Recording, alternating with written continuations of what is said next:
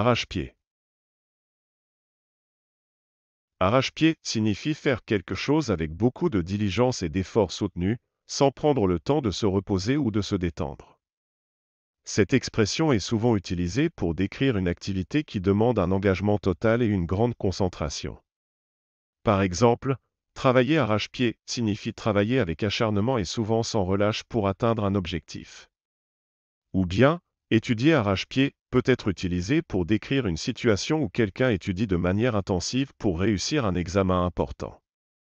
En somme, arrache-pied est une expression qui exprime un grand investissement d'énergie et qui montre la détermination de la personne à réussir sa tâche, son projet ou son objectif.